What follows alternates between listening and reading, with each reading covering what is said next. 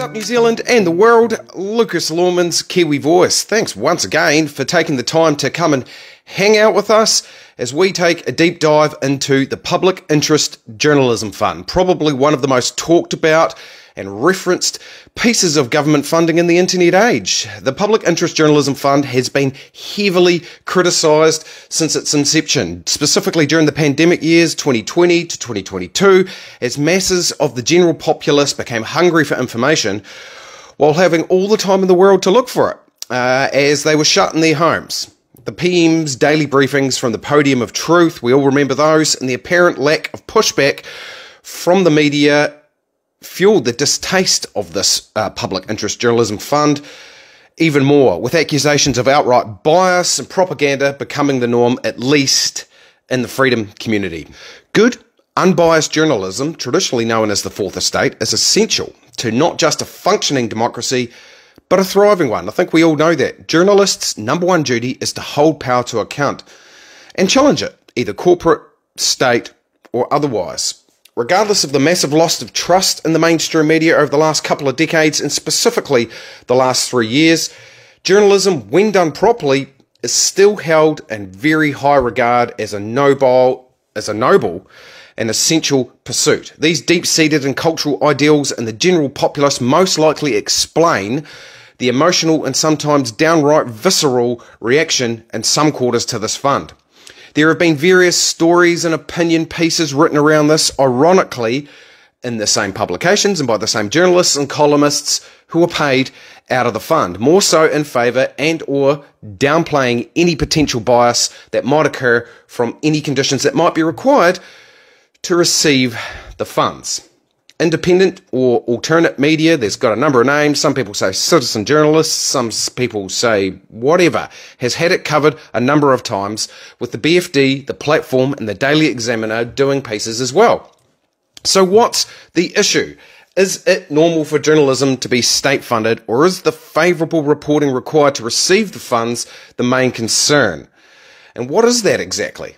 It's time for an explainer. The Public Interest Journalism Fund was established in 2021. The government said at the time to preserve and enhance public interest journalism that will otherwise be lost due to the impact of COVID-19 on newsrooms. Now, to me, how does COVID-19 have an impact on newsrooms? Other than not being able to travel, it's beyond me. In fact, when you think of the mileage that the mainstream media has actually got out of the COVID narrative and the shock and awe campaign that they have run, including lockdowns and being in front of the internet for far longer periods as well, you could logically argue in the counter to that narrative. It would have enhanced their business. We will touch on that further in a moment. According to the New Zealand On Air website, they will fund public interest journalism through a three year package designed to support at risk journalism. The Public Interest Journalism Fund is a ring fenced stream within the New Zealand Media Fund designed to provide targeted short to medium term support for public interest journalism. The three pillars of the Public Interest Journalism Fund are project funding for tightly defined projects delivered to a deadline, similar to those funded through the New Zealand Media Fund factual stream, Role based funding, supporting newsrooms for the employment of reporters, clearly tied to content outcomes. Industry development funding, including cross industry cadetships and targeted upskilling initiatives. You may have seen the hundreds and hundreds of New Zealand roles that have been advertised as part of this process, mainly at stuff.co.nz with titles like Local Democracy Reporter.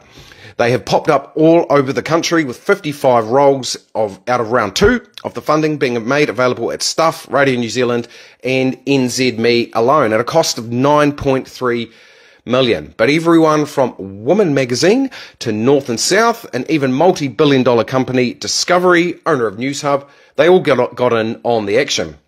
Now, New Zealand On Air states that role-based funding is designed to support the revitalisation of the industry to address new deserts and deficits in coverage of matters of importance to New Zealanders. Statistics New Zealand figures show that the number of journalists halved between 20, or sorry, 2006 and 2018.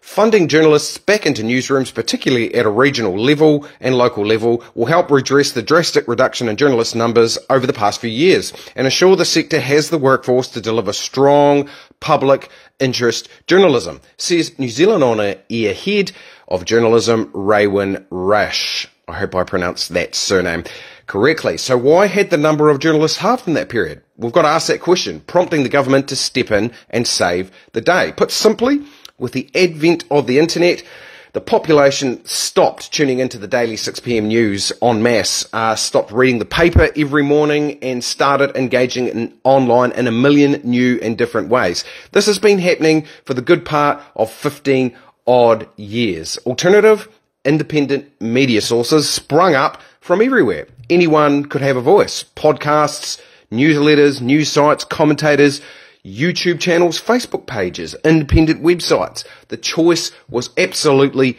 endless. There were really very few barriers to entry.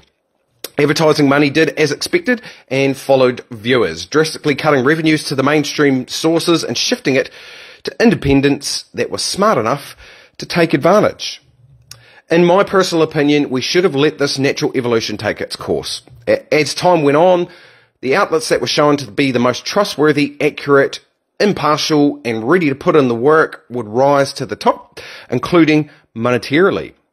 The clickbait driven, politically motivated, lazy mega outfits would have died slowly and the fourth estate would have come back into balance. Instead, by intervening with certain conditions attached, this Labour government has just made things worse, in my opinion, by decimating what trust was left after the incredibly lopsided and agenda pushing approach of the COVID years, giving anyone who had even the slightest level of mistrust in the media 55 million reasons to reaffirm those nagging thoughts. So if we can accept that government funding of media outlets in and of itself is going to cause a massive problem in public perception, at least in a large part of the population, obviously not all, then we can begin to understand why things are going as they are in terms of distrust in the media. Regardless of the ethics and morals of the reporters and editors at the organisations that receive the public interest journalism fund money, they may well be pushing shit uphill when it comes to public perception.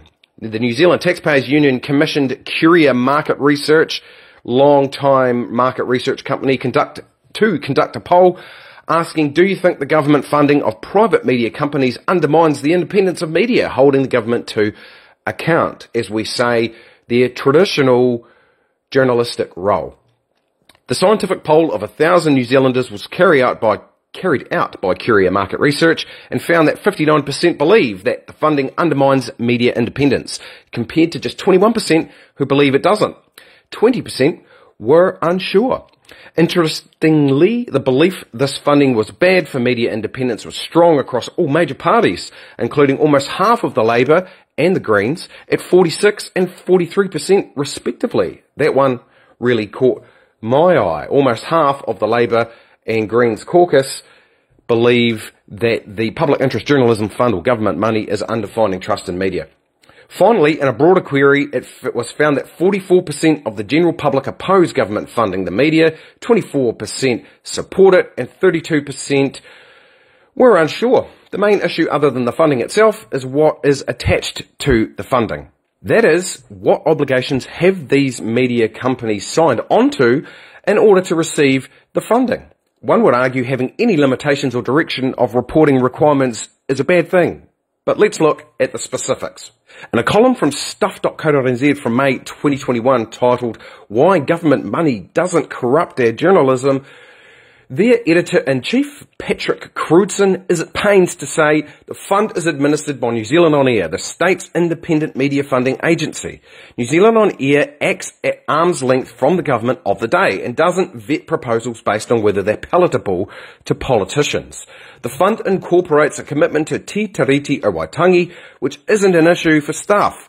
Our charter already commits to embed the Treaty of Waitangi principles in our partnership participation and protection in the ethics and practice of our business. So what does the Public Interest Journalism Fund actual document say? Under the New Zealand on air eligibility to apply, page four of the general conditions, the first criteria, the first one states, applicants can show a clear and obvious commitment or intent for commitment to Te Tiriti o Waitangi, including a commitment to Te Reo Māori, This commitment will enhance public journalism, resulting in stronger Māori representation and greater bicultural collaboration within the wider journalism sector. How this clear and obvious commitment is shown isn't clear, although it goes further to state that New Zealand On Air has commissioned research into the best way to develop a strategy around this, and it provides links on how to access that research. No bias, I'm sure. There are a number of other criteria, as may well be expected in such a funding system. Show a commitment to New Zealand, that you must have journalism experience. That one's a little bit disappointing for me, but there you go. I can understand why it's there, unless you are covering something specialist that might not otherwise be made. It has to be made readily available online. I found that interesting. You have to ensure you keep to broadcasting standards, have the capability to administrate whatever project you are working on, and clearly acknowledge where you got the money from to make it. Where things get interesting for me is the data provision element. It states, Applicants must commit to use common metrics where possible in the provision of other audience engagement, output and financial data as required. Section 7 for details. So let's have a look at Section 7. It is essential to the Public Interest Journalism Fund that funded entities return regular and accurate performance metrics to New Zealand on air across all aspects of media distribution of the content. This reporting is an integral requirement of funding and must be considered prior to the applications being made. New Zealand on air will employ a dual system of passive measurement currently through Google Analytics and producers supply data across owned and earned channels outside of their main funded website. So you have to use Google Analytics, provide views, clicks, performance measures for your podcast, Facebook, YouTube, blogs, you name it. You have to de- demonstrate how you report on it and also provide the metrics after they have occurred, regardless. You have to do that to get the money. So to summarize, there is no direct conditional link that the recipients of the Public Interest Journalism Fund need report favourably on the government that funded them. Sorry to disappoint a few people out there. I mean, to do so would arguably, arguably be journalism corruption and flat out turning the fourth estate into a propaganda arm of the government. It just would. But to be fair, there are plenty of individual journalists that work for these large organisations that do challenge power, and although still not asking a whole lot of questions that I'm sure a lot of people, such as yourselves out there, would like asked and answered, they're still better than most. What the Public Interest Journalism Fund has done, though, and this is key, it's maybe just as bad depending on how you look at it, it strip away large chunks of public trust in one of the oldest and traditionally trusted institutions of all, the fourth estate of robust, democratic journalism, by the fact it exists at all and that these large organisations have taken it. Add to this the clear and obvious total bias and lack of narrative questioning around specifically the COVID health policy narrative over the past few years, and you can begin to understand with a little more the situation we find ourselves in. A flourishing independent media landscape of which I am proud to be a part of and a decline in the new institutions, or sorry, news institutions of old. Finally, with regards to the requirement to actively promote the principles of the treaty, now this gets a fair bit of airtime. I'll leave you with a quote from Sean Plunket. He says it far better than I. The fundamental problem we have is that most people wouldn't know what the principles of the Treaty Waitangi are. Because intellectual, academic, political, and judicial elites have literally reworked the constitutional framework of this country over the last 20 years without telling the person in the street. So a whole lot of New Zealanders are suddenly consuming a media which has been coerced or willing embraced a vision of New Zealand which is totally at odds, at odds with the reality of their lives. Agree or disagree? Let me know in the comments below. Thanks for hanging around for the full yarn. It certainly is an interesting piece of funding that has, in my opinion, and a lot of others, done significant damage to mainstream media public perception and trust, regardless of the actual requirements that they have to meet to receive the funding. Thanks again for tuning in. Share these links around. Get amongst that conversation below. Keep it respectful. I really appreciate all the support is given to me every single day on Kiwi Voice.